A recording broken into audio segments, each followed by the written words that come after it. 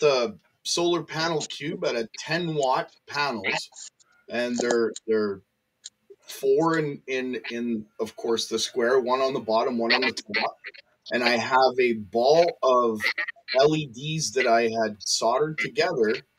They run off of about 12 volts, eh, maybe 13, and the panels are creating in series 65 volts.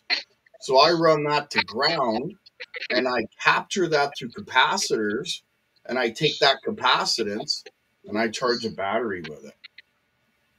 And I can Yeah. do a lot more with it.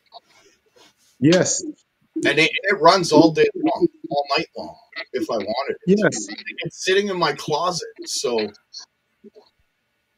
it's just a matter of creating voltage differences and then allowing that difference to flow and capturing that flow.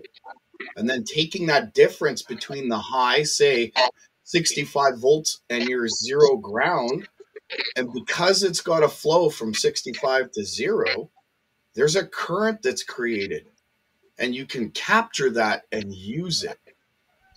And if you add MOSFETs to it, you can take that current that's been created and switch it really fast through an inductor, creating even a higher voltage, and use that. And then, of course, there's cascading MOSFETs that, again, like Lloyd was saying, it allows the creation of more current to happen through the flow of each MOSFET and inductor through voltage differences. It's it's amazing tech. Mm. So I want to okay. I, I want to applaud you, Lloyd, for your your solar panels. I was looking at it and uh, I was calling it the uh, oh uh, what was it now? Cream cheese cake of solar panels because there was layers. Right. Yes. Yeah. I think it's awesome. Right. Right. Eh, But like I said, we, they're more upset at me giving the information out for free. And you have to under you have to under, understand this one thing. That's at the infancy. That it's, it's just a little baby that I gave out for free. Yep. But I've improved the system, and it, it comes with the understanding that you have to switch something at high speeds.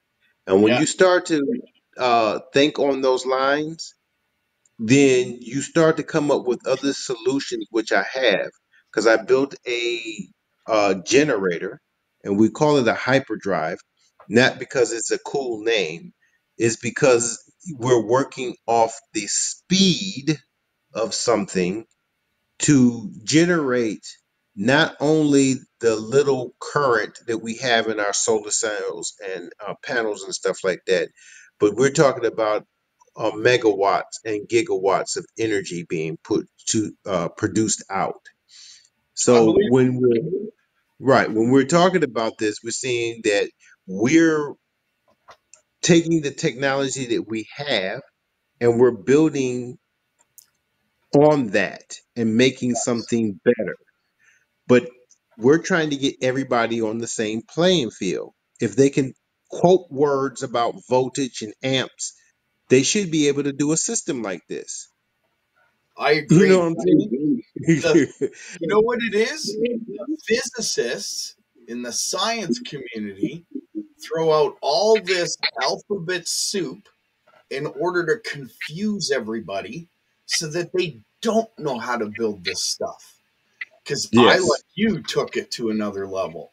I had a Yeah. dream with Jesus Christ, and he showed me how to build a special coil and I've taken it from there and just with the switching and the amount of power that I'm getting out, I, I can't even describe to you how insane it is. And the anomalies I'm seeing, unbelievable.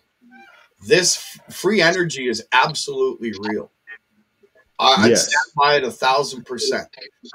Well, we'll, to say get it out. this for we'll say this for history's sake. His free energy has been around ever since we use water in a stream to turn a water wheel. Free Agreed. energy has been around ever since we took a propeller and put it in the wind and let the wind blow it. That's free energy. Yeah. Okay, we had free energy ever since we had solar panels, which was in the 1800s and took all this time to even start using solar. So we've had free energy for very long. Thermal energy. I could just keep going on on all the free energy devices out there are been used over the over the years. Do you know the um, people of the Himalayan mountains free, uh, used the mountains to dry freeze their food so it would last basically forever? That's this free. That's free. That's not a refrigerator that they sell. That's a free device. They just take the food up into the mountains and then Wimmo, they they got something for free. That means Mother Nature provides. Mother Nature, God made and gave us. He said the meek should inherit the earth. And yet no one understands what God has given us. I agree. Yeah, absolutely. Um, I've been working with something uh, close to what Maxwell's been doing, but my coil systems are a little different. But it's the same principle. It's switching very fast, creating a high voltage, and filling up capacitor banks as that high voltage flows to ground. And I can use that power all day long. I can charge 10 batteries at once with a 12 volt input. Have you watched my videos? I've watched quite a few, not all of them. I'm catching up. Do, do you you did you hear me mention a Mal's device and show you the pictures of his coils? Which device? I'm sorry. Mal, Mal. He No, has a I YouTube haven't channel. seen. I haven't seen that one. Okay, so whole point is is that it's a guy out there. You have to find his channel, and he's doing Nikolai Tesla's patents Yeah. verbatim. I mean, he's he's showing you the patents, and then he's showing you how it was wound, and he makes the bucking coil. Okay, so once you understand this bucking coil, any any energy that you put in it at high gigabytes, I'm talking about the very energy that will kill you and me. Yep. If you put that through his device, it acts as a Faraday cage. And that Faraday cage will then take that and use it as a usable energy. Now, I'm giving you a little bit more information that I should because I don't want people using radiation and what's names, but just say that we're one of the books that I put out and I gave it to Webb is a nuclear battery. And it Nice. works on the same principle. Nice. Yeah. Mhm.